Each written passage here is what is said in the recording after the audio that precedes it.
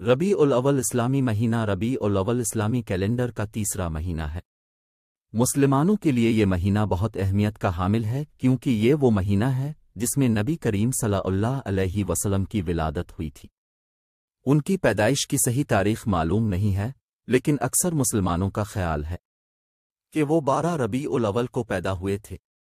पैगंबर इस्लाम की विलादत के अलावा रबी उल भी वो महीना है, जिसमें दर्ज झैल वाकयात रूनुमा हुए नबी करीम अलैहि वसल्लम की मक्का से मदीना की तरफ़ हिजरत का आगाज़ बीस रबी अव्वल को हुआ।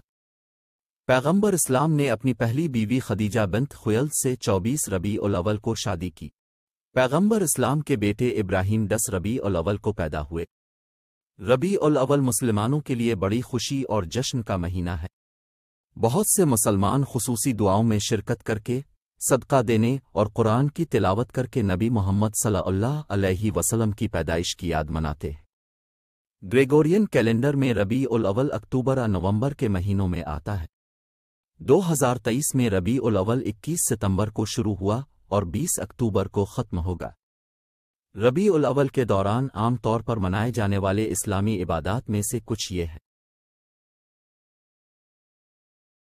दुआएँ, मुसलमान अक्सर रबी उल अव्वल के दौरान पैगंबर मोहम्मद की विलादत की याद में खसूसी दुआओं में शिरकत करते हैं। ये नमाजें अमूमन मसाजिद अदीगर इबादत गाहों में अदा की जाती हैं। सदका, मुसलमानों को रबी उल अव्वल के दौरान सदका देने की तरगीब दी जाती है, क्योंकि ये बड़ी बरकतों का वक्त है।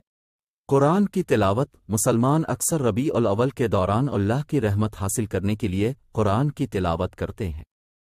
रोज़ा कुछ मुसलमान बारह रबी उल अवल को रोज़ा रखते हैं। इस दिन को नबी मोहम्मद का योम पैदाइश समझा जाता है। रबी उल अवल मुसलमानों के लिए इंतहाई अहमियत का महीना।